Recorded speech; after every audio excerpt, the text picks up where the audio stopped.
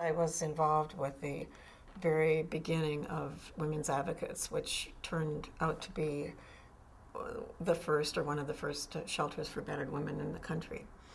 And um, one of the earmarks of of that adventure was how little we knew about what we were really doing and had no idea um, in the beginning, especially of of the problem of battering. It was not about that, and I think that it's an interesting social change movement because it didn't really come out of a political or, or feminist analysis. It really came out of um, a grassroots group who uh, who just um, who who created a, a, telephone service for women um, for, for, legal information in the legal aid office and ended up with all kinds of women calling and wanting a place to stay.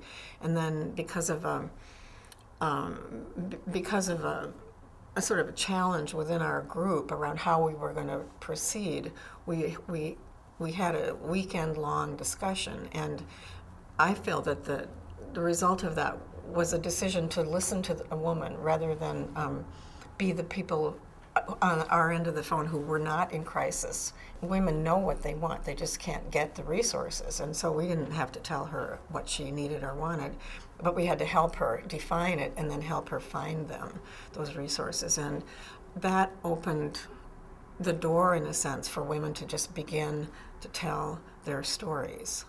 And uh, we were amazed. That word, I love that word, God smacked. We were gobsmacked. We, we didn't, we had no idea of the, um, of the sort of the, the terrible secrets that um, were amongst all of us of, of women's violence in their, in their relationships. And that's how the shelter began. I don't think any of us defined ourselves as feminists.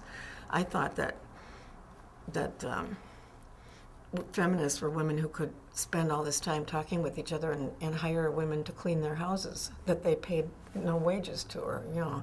I mean i didn't i was struggling. I was pretty um, skeptical about the women's movement. It didn't come out of the women's movement. It really didn't. It didn't come out of, and there were you could say women's movements because there were the, the kind of the NOW movement, which was around equalizing pay for women more, um, and then there were the radical lesbian feminists. I mean, I was fascinated by them. I I couldn't believe the whole argument that they had about claiming reproductive power by never having. Um, by c- not conceiving children or something like that. It was like, wow. And I didn't agree with it, but it was just, it was that time of, of, of bursting forward, uh, forth, and, and how important consciousness raising groups were. And in my own research, because um, I actually wrote a dissertation on t- trying to figure out how does a grassroots movement really start? Why? How did women with all these stories? How did the um, this kind of the testimony of this terrible secret um, come out and not be individual women who were in bad marriages?